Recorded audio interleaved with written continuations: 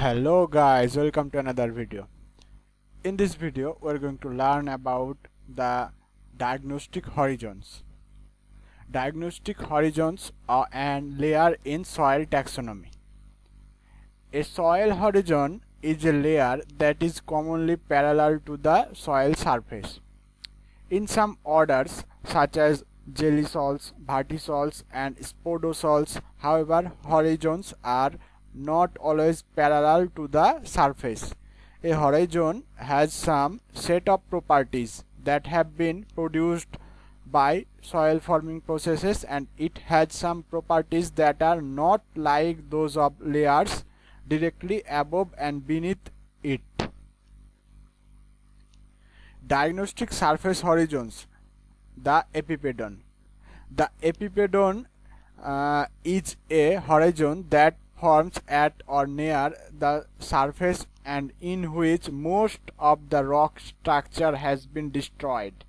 It is darkened by organic matter or shows evidence of evaluation, elevation or both.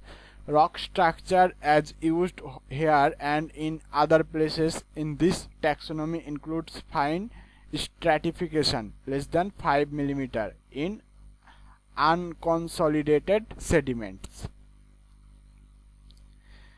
Here is the diagnostic surface horizons. Surface horizons are anthropic epipedon, folistic epipedon, histic epipedon, melanic epipedon, mollic epipedon, ochric epipedon, plaggen epipedon and last one is umbric epipedon. Uh, in this video we are going to learn about these surface horizons in briefly. So let's get started. First one is anthropic epipedon.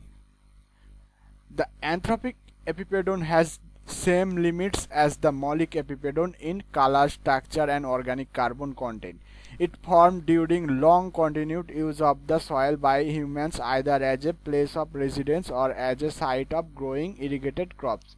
In arid regions, some long irrigated soils have an epipedon that is like the mollic epipedon in most chemical and physical properties. The properties of epipedon in these areas are clearly consequence of irrigation by humans. The next one is folistic epipedon. The folistic epipedon consists of organic material unless the soil has been plowed. This epipedon normally is at soil surface although it can be buried buried folistic epipedons occur primarily in cool humid regions of the world this is only found in the mineral soils. Then next one is histic epipedon. Histic epipedon consists of organic soil material uh, peat or muck if the soil has not been plowed if the soil has been plowed, the epipedon normally has a high content of organic matter that results from mixing organic soil material with some mineral material. The histic epipedon either is characterized by saturation and reduction for some time in normal years or has been artificially drained. It is normally at the soil surface although it can be buried. The next one is melanic epipedon. Melanic epipedon is a thick, dark colored, commonly black horizon at or near the soil surface. It has high concentration of uh, organic carbon generally associated with short range order minerals, aluminum humus complexes. The intense dark colors are attributed to the accumulation of organic matter from which type A humic acids are extracted. Then next one is mollic epipedon. Mollic epipedon is relatively thick, dark colored humus rich surface horizon uh, in which bivalent cations are dominant on the exchange complex and grade of structure uh, is weak to strong. These properties are common in the soils of the steppes in Americas, Europe and Asia. The next one is ochric epipedon. The ochric epipedon fails to meet the definitions for any of the other seven epipedons because it it is too thin or too dry. Has too high a color value or chroma contains too little organic carbon. Has too high and uh, n value or melanic index or is both massive uh, and hard or harder when dry. Then next one is Plaggen epipedon. Plaggen epipedon is a human-made surface layer, surface layer 50 centimeter or more thick that has been produced by long continued manuring. In medieval times, sod or other materials commonly were used for bedding livestock and the manure was spread on the fields being cultivated. Then next one is Umbric epipedon. Umbric epipedon is a relatively thick, dark colored humus-rich surface horizons or horizons. It cannot be distinguished by the eye from a mollic epipedon, but laboratory studies show that the base saturation is less than 50% uh, in some or all parts. So that was the part of uh, surface uh, diagnostic horizon.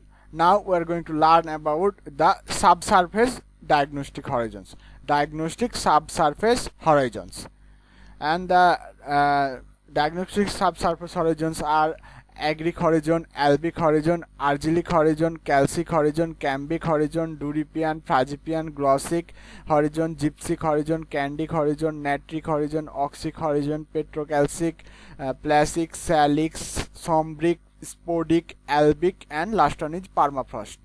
Uh, we are going to learn about this uh, subsurface horizons in briefly. So let's get started. First one is agric horizon. Agric horizon is an alluvial horizon that has formed under cultivation and contains significant amounts of alluvial silt clay and humus when a soil is brought under cultivation, the vegetation and soil fauna as a rule are changed drastically. The plough layer is mixed periodically and in effect a new cycle of soil formation is started. The next one is albic horizon.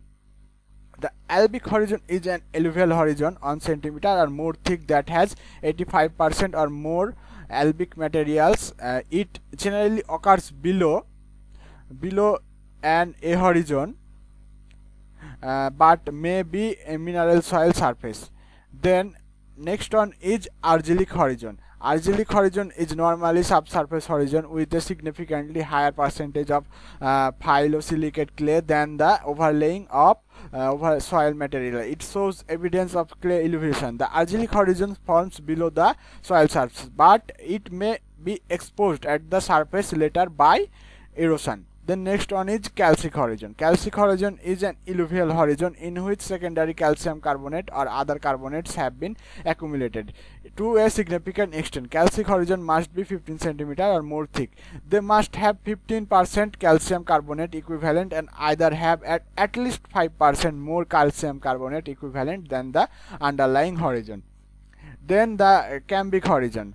Uh, cambic horizon is the result of physical alteration, chemical transformation or removals of or of a combination of two or more these processes. The cambic horizon is a commonly uh, subsurface horizon. It is normally lies in the position of a B horizon and in most pedons is considered to be a B horizon but it can be include some AE and transitional horizons. Then next one is Duripan. এডুরিপিয়ান durus hard meaning hard pan is a sub surface horizon that is cemented by illuvial silica to the degree that has less the less than fifty percent of the volume of air dry fragments slake in water during prolong soaking in acid genesis of duripan duripans occur mostly in soils with a xeric or aridic moisture regime that is uh, in soils that are seasonally dry or usually dry. Most soils that have a Duripan have a moisture regime in which soluble silica might be expected to be translocated into lower horizons but not out of the soils. Then next one is Fragipan. Fragipan uh, means modified from uh, fragiles, brittle and pan, meaning brittle pan, is an altered subsurface horizon 15 cm or more thick that restricts the entry of water and roots into the soil matrix. It may but does not necessarily underline an argillic, cambic, albic or spodic horizon. It is commonly within an argillic horizon but some are within an albic horizon. The next one is glossic horizon. Glossic horizon develops as a result of the degradation of an argillic, kandic or natric horizon from which clay and free iron oxides are removed. The material between pads resulting from this removal is albic material. Then next one is gypsum horizon. Gypsum horizon is an alluvial horizon in which secondary gyp gypsum has accumulated to a significant ex extent. Most gypsum horizons occur in arid environments where the parent materials are rich in gypsum. In soils that have uh, ground uh, water near the surface, capillary rise and evaporation plus transpiration can result in significant accumulation of gypsum. The next one is Kandic horizon. Kandic horizon is a subsurface horizon that has a significantly higher percentage of clay than the overlying horizon. Then next one is natric horizon. Natric uh, horizon means modified from natrium sodium implying the presence of sodium. Horizon is a special kind of argillic horizon. The dispersive properties of sodium accelerate clay elevation. Research has shown that natric horizons from in uh, Holocene age soils even in arid or semi-arid environments. Then next one is oxic horizon. The oxic horizon is a mineral subsurface horizon of a sandy loam or finer, texture with a low cation exchange capacity and a low content uh, weatherable minerals. It is at least 30 centimeter thick. Then next one is um, petrocalcic horizon. Petrocalcic horizon is an alluvial horizon in which secondary calcium carbonate or other carbonates have been accumulated to the extent that the horizon is cemented or indurated. Then next one is placic horizon. Placic horizon means base of plaques, flat stone meaning a thin cemented pan. Uh, is thin black or uh, black to dark reddish pan that is cemented by iron and organic matter. Uh, it is generally between 2 and uh, 10 millimeter thick but may as may be as thin as 1 millimeter. Then next one is salic horizon. Salic horizon is a horizon of accumulation of salts that are more soluble than uh, gypsum in cold water. A common salt is halite, the uh, crystalline uh, form of sodium chloride. Then sombric horizon. Sombric horizon means sombre dark is a uh, subsurface horizon in mineral soils that has formed under free drainage. It contains alluvial humus that is neither associated with aluminium as is the humus in the spodic horizon, not dispersed by sodium as is common in the natric horizon. Then next one is spodic horizon. Spodic horizon is an alluvial layer with 85% or more spodic materials uh, materials contain alluvial active amorphous materials composed of organic matter and aluminium with or without iron. The next one is albic materials. Albic means uh, albus white. Materials are soils materials with a color that is largely determined by the color of primary sand and silt particles rather than by the color of their coatings. This definition implies that clay uh, uh, or free iron oxides have been removed from the materials or that the oxides have been uh, segregated uh, to such an extent that the color of the materials is largely determined by the color of the primary particles.